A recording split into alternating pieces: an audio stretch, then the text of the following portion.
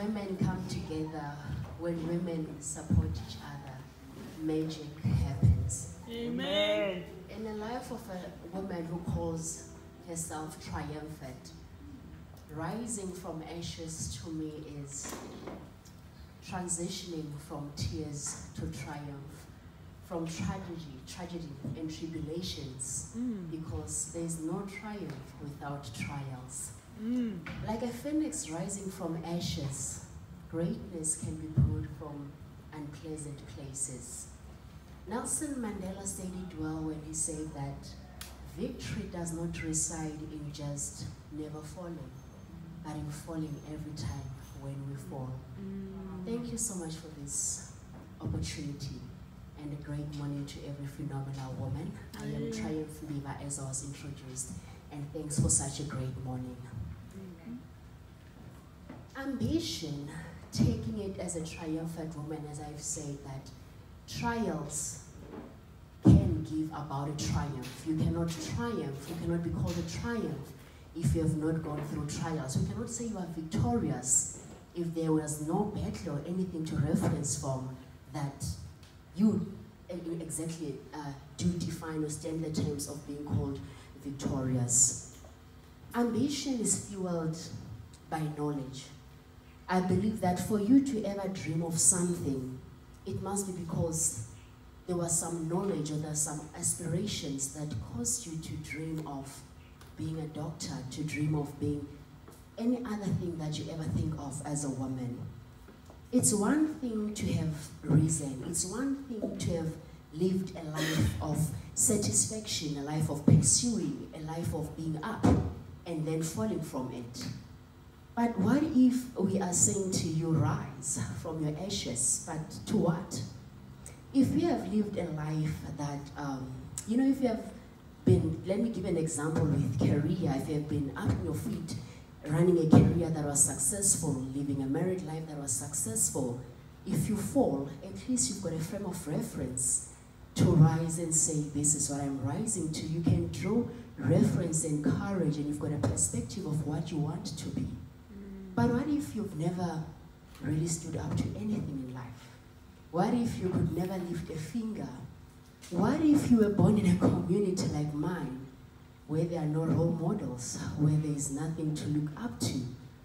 I hear that I have to rise, but to what am I rising to? Mm. It's one thing to have known, to have lived a life. It's one thing to have dreams that are aspired by role models. They are inspired by the things that you see, you see around you. But it's one other thing to be told to rise up and go and you don't know where do I start.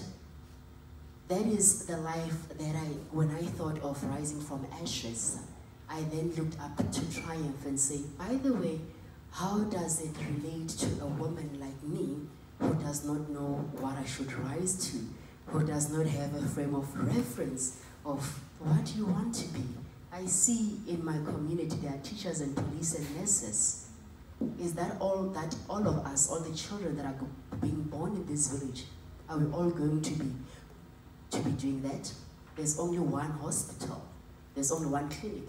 There's only one school, one primary school. There's only one high school. Rise to what exactly? That was my life, or also my thought of rising from my ashes. Ashes survive because there was fire. But what if you grew up in a community where there was nothing? As he has, she has described in my bio, from a community of dying dreams.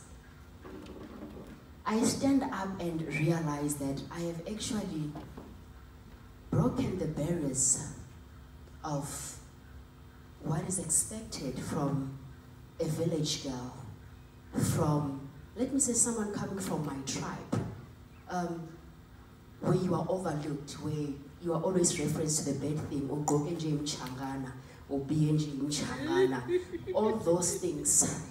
Just beside other prevailing odds, as a child, things don't mean to harm you, can kill you, even though they mean nothing. As a child, I thought as a child, things that don't mean anything, because now to me it means nothing. But those are things that are meant to steal your future and the perspective of how how you see yourself.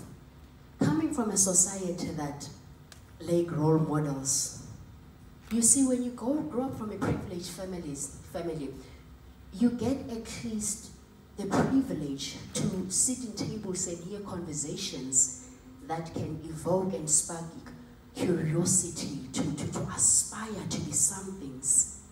Where I come from, in Karwampi Mavayeni, we call the night time in Karwampi Mavayeni where we sit in the table. Mm.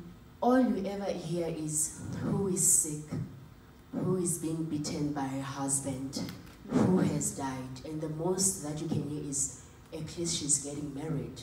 Mm. That is the only success that you can ever hear that someone is getting married. And there is really nothing from those conversations that drive you to have an ambition to be a better person.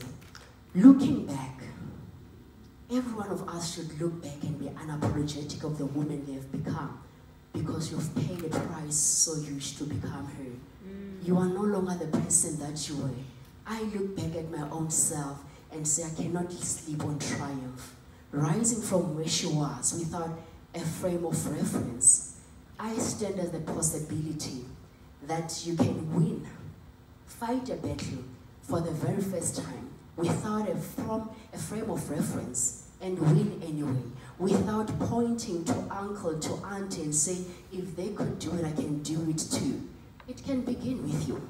Mm. Sometimes it has to begin with you to break generational cases, to mm. break generational norms. The best you can be in Justicia, if you manage to pass matric, is to become a waitress because the only job opportunity surrounding the area is Kruger National Park.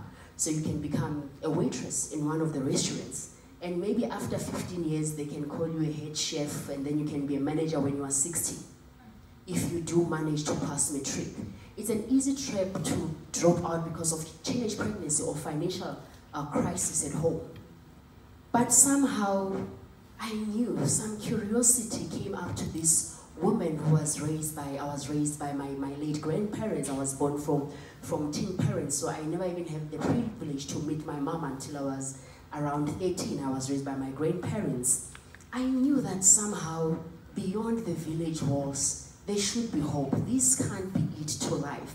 And remember, this is a, a, a, generational norm where whatever you can become is comforted. If you can become a teacher, great. I am not so young that someone can still say, if you become a teacher, there's nothing wrong with it. These are things we need a teacher. Triumph is standing here because there's someone who taught me how to write my name. But isn't there more to an African child than that? I was coming from a community where if you can only become a police, it was comforted. But Triumph had a dream beyond that. Growing up, I could not even lift a finger. As the child who was obese, I come from a, an obese, a history of obese family.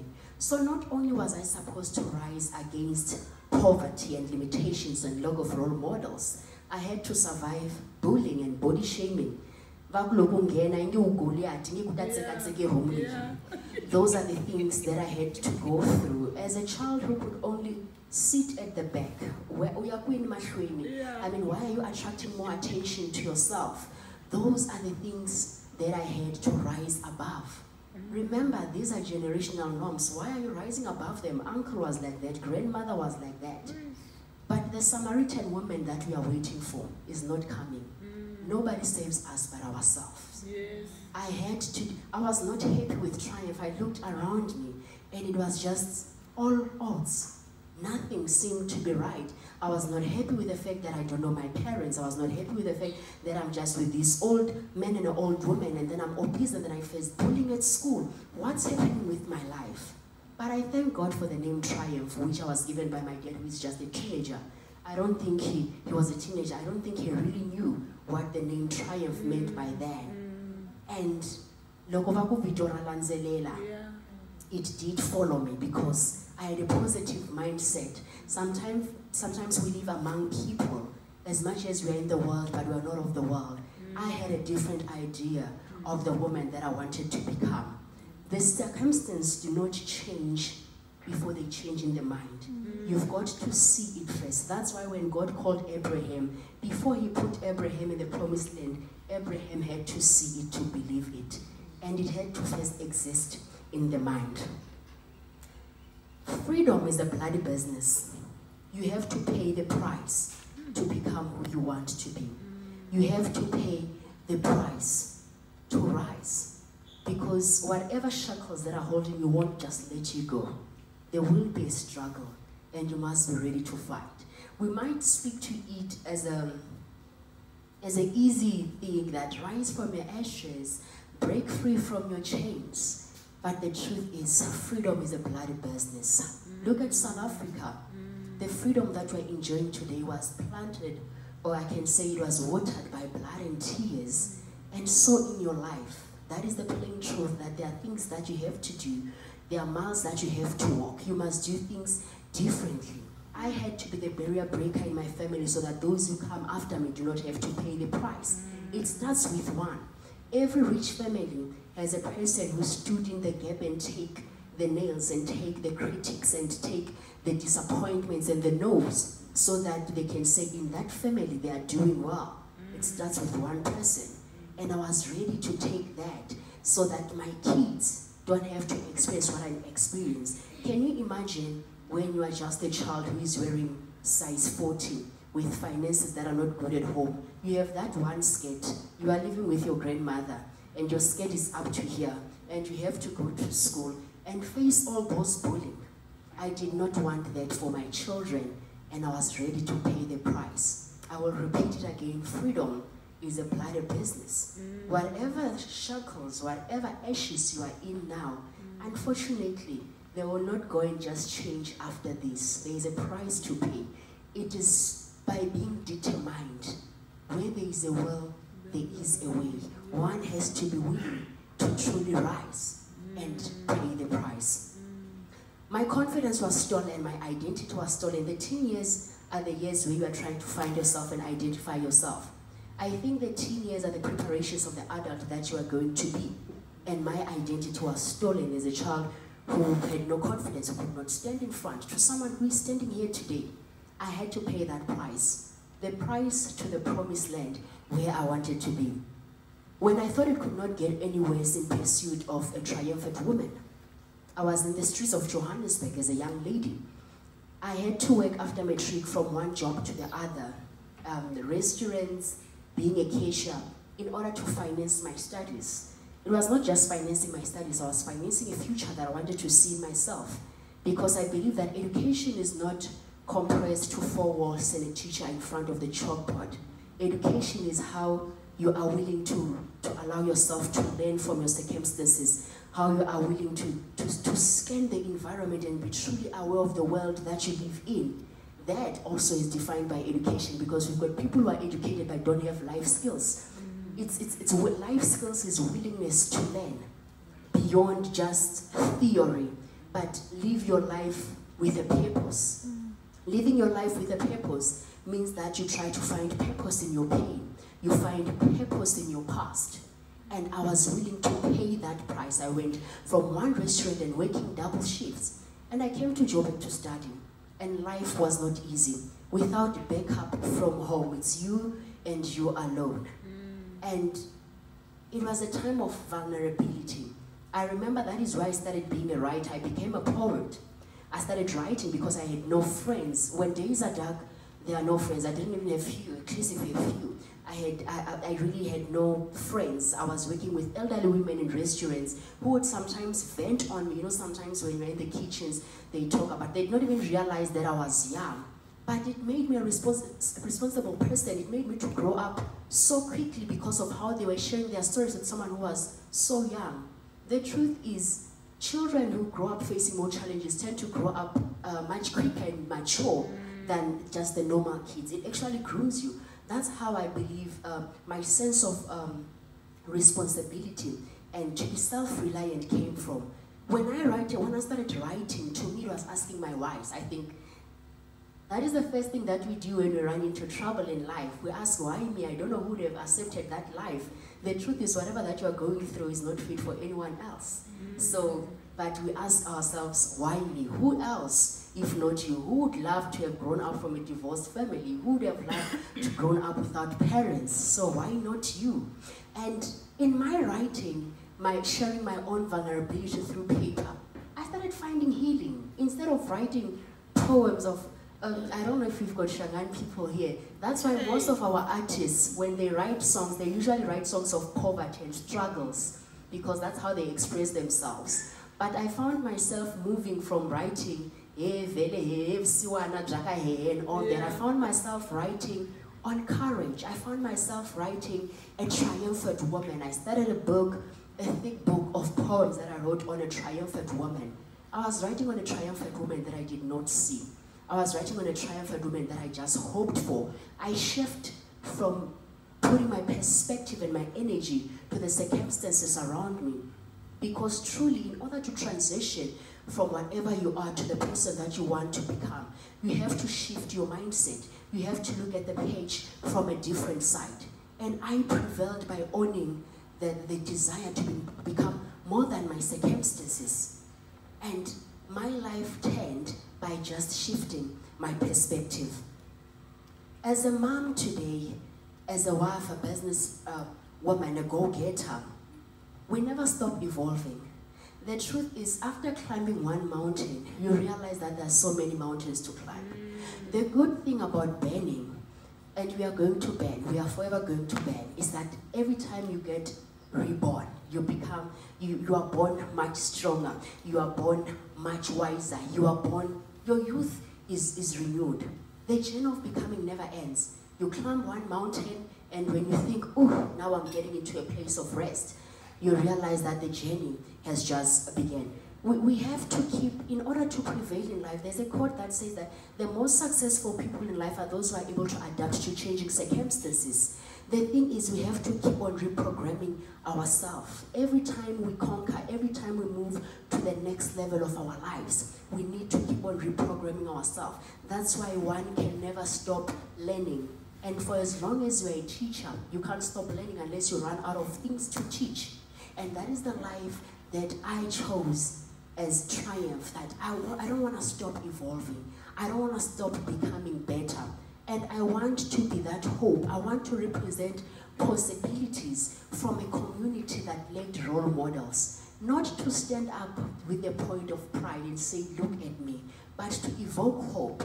To say, if I sat in this very same classroom, if I went to this very same high school, and here I am today, then it is possible for you. The later generation always have it much easier because if this classroom has broken windows today, then it was much worse 10 years ago. It's probably a better place for you. But if I could do it, then you can do it. Because we need more victims to come out from our communities to say, I have also walked the same path, if not worse, but here I am now. To say that I also did not have the privileges, I did not have the finances, I did not have people who encouraged me. Because the reality of life is no one sometimes will encourage you fully to achieve what you want. The best motivator is not the one that you are going to pay. The best coach is not the one that you are going to pay for an hour. The best coach is always you. So we should stop looking at outside circumstances and outside people to truly help us and accompany us to, our journey. The Samaritan woman that you are waiting for is you and mm. nobody else. It is then that I, I, I, I started escaping the chains. When I sat down and realized in my life that I have escaped the chains and I want to be that example of hope. I want to go back to my fellow sisters and my fellow brothers to truly say that whatever that you're going through, someone went through it and overcome. And you too shall overcome. Whatever we go through in life, if we are not becoming just examples, it's what we are exactly, paving the road for those who come after us. I call myself a product of grace. All that I have become. When I look at a sex worker, when I look at a hobo, when I look at a cashier and a mm. waitress, I mm. always see myself in them and realize that I was not special. I'm only a product of grace and a product of a praying woman who believed in so much more without seeing. when you believe that your kids can become better, and you don't even know that there's a gynecologist, you don't even know that uh, there are people who study media, when you don't, all these careers, we did not know about them. But I know that my grandmother appreciated education even though she did not know a door of a grade one uh, classroom. And I became the woman that I am today because there's a woman who paid forward. And I want to pay forward for my kids. I want to pay forward for other women who say, What do I rise to? What, what is it exactly? That I don't even know ashes. I'm a dry wood. In fact, a dry wood can catch fire. I'm just a wood that has no use, that no one would pick up. How do I look at my life and believe that I can be something? Because generational norms make us look at ourselves and think, if it has been like this, who am I? But I stand here today as triumph and represent possibilities that I am something. It is within you to pay that price, to say it does not matter. If you have to sacrifice, being, um, I remember as a waitress, it was the time of Carvelas and Uzzi whereby even ladies would wear Uzzi jeans and Carvelas. I was saving for my studies. I could have wanted to fit in, yeah. but I had a price to pay. Mm. The thing is, we try to fit in so much without realizing that we do not come from the same background. That's why success is, is not a matter of comparison. It should be measured in relative of your starting point. When I started working, I felt like my friends are more successful because they are buying cars.